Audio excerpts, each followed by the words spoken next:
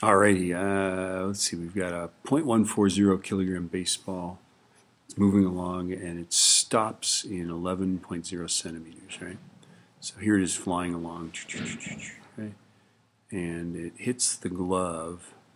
So we'll draw a picture of it hitting the glove, right? And it stops in a distance of 0.11 meters, right? Um, and I think what we're going to do here is just use F equals ma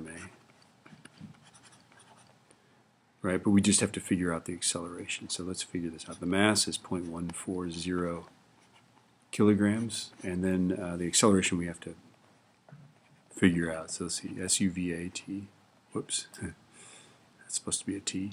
Um, the final velocity is zero because it stops, right? Brings it to rest.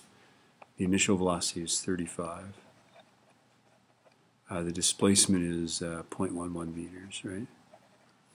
And then I'm going to use um, v squared is u squared plus 2as. So therefore the acceleration, what is v squared minus u squared over 2s. So that is 0 squared minus, uh, 35 squared over 2 times 0.11.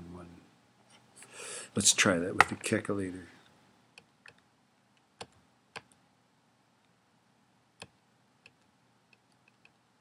Okay. I'm getting that it's negative 5,568.18 repeating meters per second squared, right? So now we can just plug that in here, negative